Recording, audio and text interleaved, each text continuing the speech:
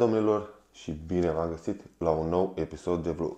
Domnilor, îmi cer scuze că nu am mai postat timp de o săptămână. Am fost răcit. Abia mi-am revenit, încă am rămas cu o tuse. Dar uh, e important că am putut să mă țin de sală, însă m-am simțit foarte obosit. Nu am fost pus la pământ, însă oboseală, tuse, dureri de cap și așa mai departe. Am început să mă simt destul de bine. Am început să mă simt destul de bine și am zis că trebuie să reiau vlogurile, să postez iarăși și să învățăm unii de la alții. Ei bine, astăzi este vineri, eu m-am trezit, am făcut cardio, nu am mai pus partea aceea pentru că mereu încep cu ea și am să încep cu prima masă pentru că la prima masă voi face niște clătite proteice și cred că o să vă intereseze. Bine, domnilor, la aceste clătite voi folosi o văz instant. Acesta este de la Vitabolic, foarte, foarte bun, îmi salvează viața uneori pentru că am foarte mult ovăz, 200 de grame. Voi mai avea 250 de ml de albuș, albuș de la Lidl, pasteurizat, un ou întreg, 20 de grame de proteină hidrolizată. Voi pune, cred că cam 5 grame de unt de cocos în tigaie și o banană. Asta să iau și banana. Banana pe care o voi pune tot în plat. Haideți să nu mai pierdem timpul, să ne apucăm de treabă. Stați să văd unde este Cred e mașina de spălat vase. Bun. Între timp pun uh, tigaia la foc. Foarte frumos ca să fie încinsă. Așa. Haide, tati. O să pun și o, un ibric de apă la fiert ca să-mi fac un ceai cu clătite. Frumos, mă respect, asta este.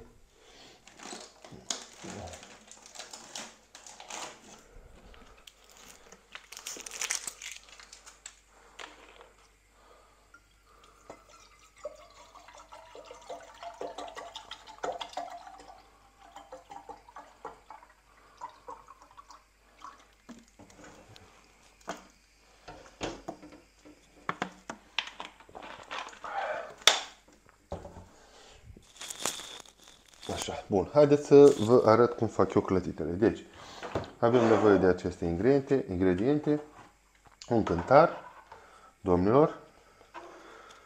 Punem frumos asta pe cântar, deschidem ovăzul. Așa, punem 200 de grame de ovăz, pentru că atâta am eu. Voi puneți în funcție de cât aveți voi în meniu. Haide, tati, haide, tati. Mamă, o curșă cupa și tot. Asta e mai la fund cupa, dar nu-i problemă. Acum punem albușul.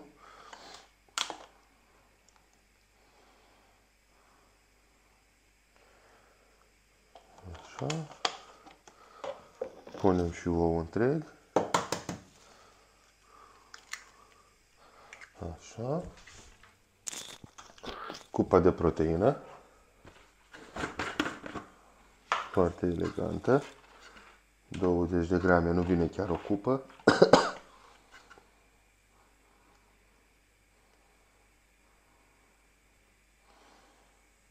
Nouăsprezece. Așa.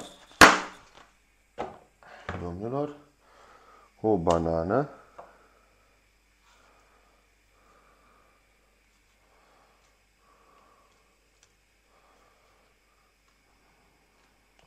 De obicei nu prea îmi place mie să mă complic cu atâtea feluri de clătite și prostii, dar câteodată, sincer, mai simți nevoia să mai schimbi puțin, toate că sunt tot aceleași ingrediente. În loc să fac omletă cu ovăz, fac clătite, dar mai simt nevoia, că nu intră mereu, mereu. Și acum nu avem decât să amestecăm. Formăm și banana aici, o să iasă foarte, foarte bună. Ca să nu mă mai lungesc, mai pun puțină sare.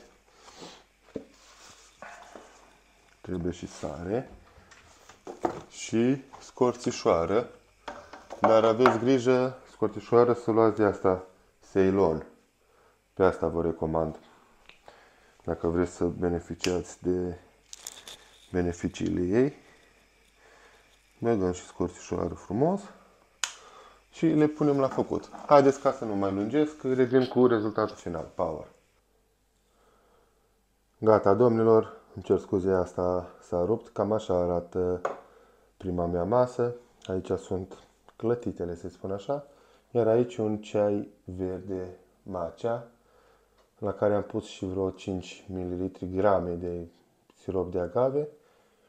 Cam așa arată, ca volum este mult mai puțin decât cum iese la microunde 200 de ovăz și mai aveam și o omletă. Mă pun să mănânc că sincer sunt rupt de foame. Power! Domnilor, haideți să vă arăt puțin și suplimentele sub formă de capsule pe care le consum și să începem cu Max Flex. Acesta este un supliment pentru protejarea articulațiilor. Foarte bun. Eu consum uh, două capsule la masa 2. Aici avem uh, mineralele, top mineral. Consum uh, două capsule înainte de antrenament. Foarte importante și acestea. acestea. Cu enzima Q10, bioperin, un antioxidant foarte puternic și foarte bun, necesar atunci când uh, punem presiune pe organism cu antrenamente grele și așa mai departe. Omega-3, nelipsit, care ajută sistemul cardiovascular, reglează colesterolul bun și așa mai departe și combate colesterolul rău. Berberina, care face parte din uh, gama GDA-urilor, glucose diasposal agent. Sper că am tradus bine. Acestea au rol în menținerea glicemiei stabile în și combaterea poftei de dulce, cromul picolinat, dar nu combate direct, ci doar că ține glicemia stabilă. Deci avem berberină, avem uh, zâmaul pe care le iau pentru un somn uh, liniștitor înainte de somn. Multivitaminele care trebuie să fie nelipsite din uh, suplimentele, din gama de suplimente a unui sportiv.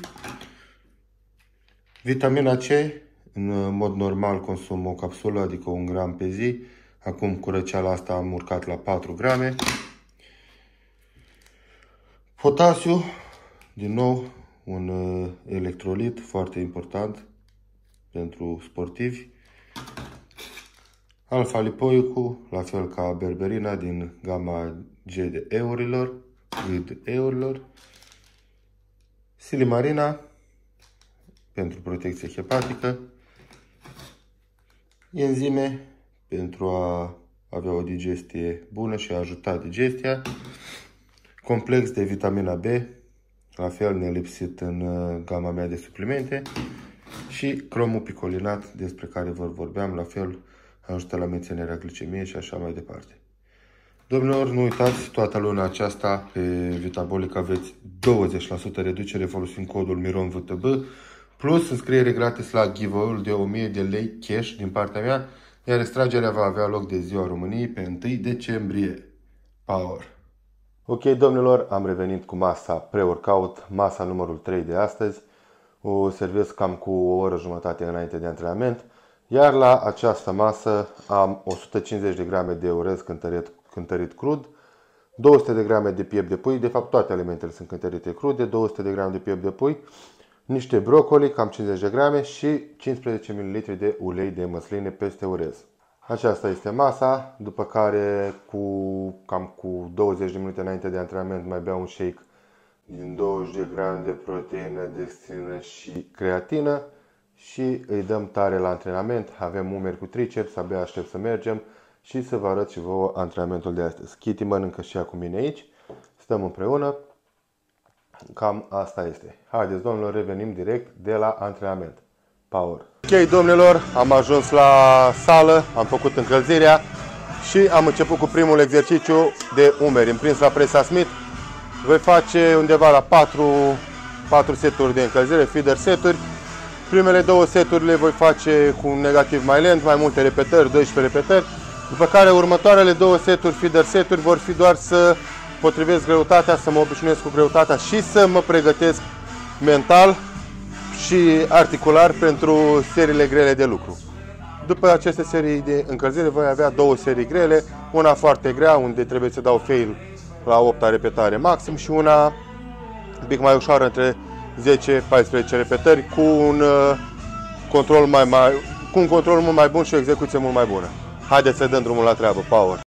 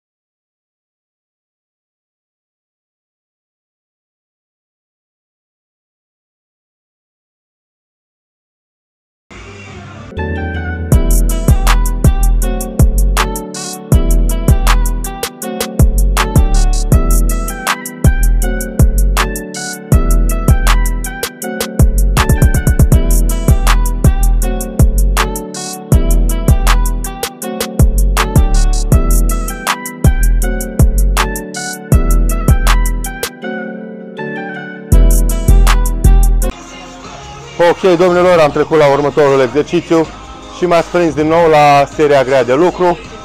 Ridicări laterale cu ganterele, sunt la prima serie între 6 și 8 repetări. Voi face cu ganterele de 40, să vedem cum merge, de fapt nu cum merge, că trebuie să meargă, pentru că noi o controlăm pe ea, nu ea pe noi. Așa. Îmi pun și chingile ca să nu mă complic cu priza, să am uh, stabilitate bună și să scot maxim din acest exercițiu. După care voi mai face un exercițiu, o, o serie cu gantere de 30-14 repetări.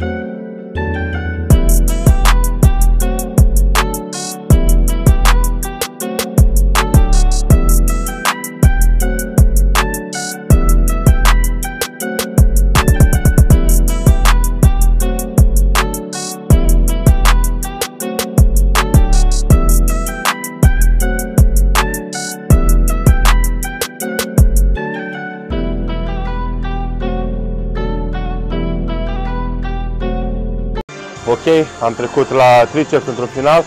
Am mai făcut pentru umăr uh, reverse pec deck la, pentru umărul posterior. Am mai făcut uh, două serii, o serie de 14 repetări și una de 8-10 repetări mai grele.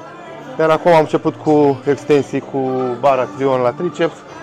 Sunt, am făcut 4 serii premergătoare, după cum știți am mici probleme cu durere la un cot, ceea ce nu-mi permite să duc așa cum aș vrea eu antrenamentul. Astăzi, din fericire, mă simt un pic mai bine. Sper să o țin așa tot antrenamentul. O să fac seria grea cu greutatea pe care am făcut, cu care am făcut și tura trecută.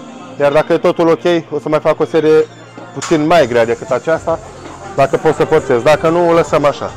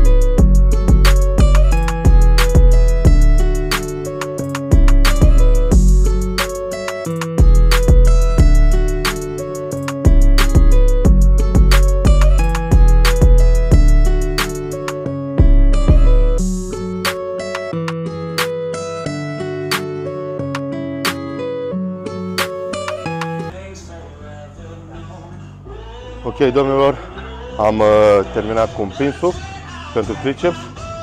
Poate vi se părea o poziție ciudată sau știu eu, dar uh, cu banca înclinată și împingem de aici de sub bărbie, să știți că foarte, foarte bine intră tricepsul și eu caut modalități, sute de modalități, nu sute că exagerez, dar caut cele mai bune modalități să evit uh, durerea pe coate, pe cot și să scot maxim pentru că am nevoie de triceps. Am trecut acum la presa pentru triceps. Suntem la seria grea. Voi face câte merg. De preferat ar trebui între 6 și 8. Dar dacă aș pune greutatea care să mă ducă în 6-8 repetări, m-ar ridica presa, dar vedem câte merg acum.